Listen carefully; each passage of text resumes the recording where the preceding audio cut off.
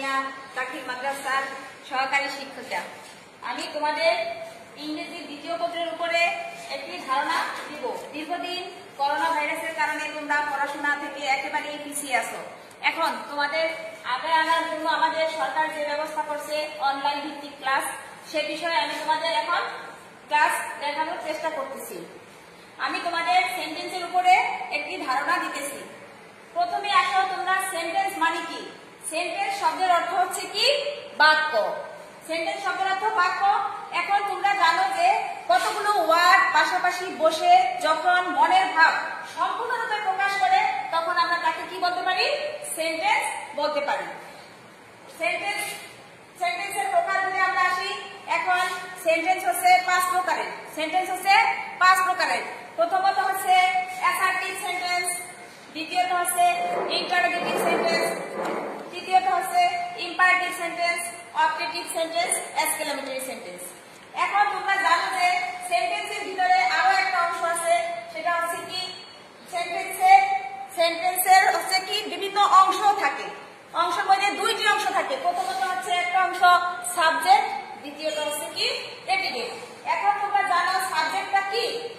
Subject হচ্ছে একটা বিষয় যে অংশে কোনো ব্যক্তির সম্পর্কে কোনো কিছু বলা হয়, সেটা হচ্ছে কি সাবজেক্ট আর প্রেডিকেট হচ্ছে ওই ব্যক্তির বিষয়ে যখন কিছু বলা হয়, সেটা হচ্ছে কি তোমার প্রেডিকেট এখন সেন্টেন্সের যে পাঁচ প্রকার আছে, এর মধ্যে হচ্ছে এক হচ্ছে কি অ্যাসার্টিভ সেন্টেন্স এক অ্যাসার্টিভ সেন্টেন্স দেখো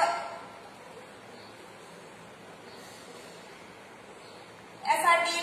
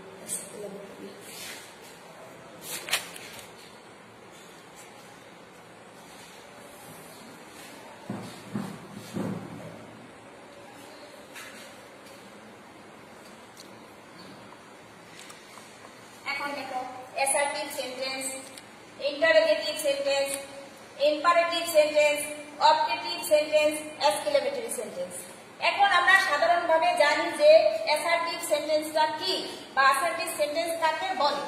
আমরা সাধারণভাবে বলতে পারি যে যে সেন্টেন্স দ্বারা সাধারণ কোনো বিবৃতি প্রকাশ করে বা সাধারণ কোনো কথা বলা হয়, তাকে বলা হয় কি? অ্যাসার্টিভ সেন্টেন্স এখন আসি ইন্টারোগেটিভ সেন্টেন্স ইন্টারোগেটিভ সেন্টেন্স যে সেন্টেন্স দ্বারা সাধারণভাবে কোনো প্রশ্ন করা হয়, তাকে আমরা ইন্টারোগেটিভ সেন্টেন্স বলতে পারি। এরপরে আসি ইম্পারেটিভ সেন্টেন্স ইম্পারেটিভ সেন্টেন্স কি? ইম্পারেটিভ সেন্টেন্স সাধারণভাবে যে সেন্টেন্স দ্বারা আমরা কোনো আদেশমূলক কথা বলি, তাকে আমরা ইম্পারেটিভ সেন্টেন্স বলতে পারি।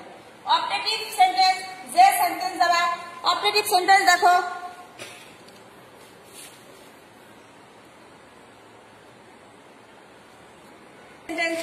যে সেন্টেন্স দ্বারা কোনো প্রার্থনা, আদেশ ইত্যাদি প্রকাশ করে, তাকে কি বলা হয়? অবজেক্টিভ সেন্টেন্স আরও আছে, সর্বশেষ হচ্ছে কি? এক্সক্লামেটরি সেন্টেন্স সাধারণত যে সেন্টেন্স দ্বারা কোনো ইচ্ছা প্রকাশ করা হয়, তাকে আমরা এক্সক্লামেটরি সেন্টেন্স বলতে পারি। এখন, সাধারণভাবে আমরা জানলাম যে সেন্টেন্স অর্থ কি? সেন্টেন্স মানে কি? সেন্টেন্সের অর্থ হচ্ছে কি? বাক্য। এরপরে আছে সংজ্ঞায় কতগুলো ওয়ার্ড, পাশাপাশি বসে যখন কোনো সম্পূর্ণ একটা অর্থ প্রকাশ করে, তখন আমরা তাকে কি বলতে পারি? সেন্টেন্স বলতে পারি। এখন আসি আমরা সেন্টেন্সের ভিতরে অংশ। সেন্টেন্সের দুইটি অংশ থাকে। সাধারণত হচ্ছে একটা সাবজেক্ট আর একটা হচ্ছে কি? প্রেডিকেট এখন আমরা জানব যে সেন্টেন্সের কয় প্রকার? সেন্টেন্স হচ্ছে সাধারণভাবে পাঁচ প্রকার। এই সেন্টেন্সের মধ্যে প্রথমে হচ্ছে কি? অ্যাসার্টিভ সেন্টেন্স দ্বিতীয়ত হচ্ছে ইন্টারোগেটিভ সেন্টেন্স তৃতীয়ত হচ্ছে ইম্পারেটিভ সেন্টেন্স চতুর্থ হচ্ছে কি অবজেক্টিভ সেন্টেন্স পঞ্চম হচ্ছে সেন্টেন্স এখন তোমাদের এই যে আমরা যে পাঠগুলো আলোচনা করলাম, এগুলা তোমরা মনোযোগ সহকারে দেখো এবং পরবর্তীতে আমরা সেন্টেন্সের পরিবর্তন সম্পর্কে কিছু আলোচনা করব।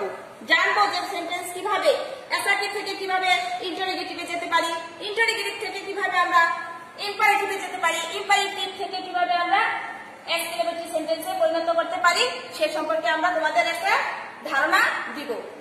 এখন এই বলে আমি আমার এই সংক্ষিপ্ত ক্লাস শেষ করলাম। সামনে তোমাদের সিলেবাস ধরে দেখানো হবে যে পরবর্তীতে আমাদের কি কি আছে, কোন কোন বিষয়ে আমরা আলোচনা করব। এই বলে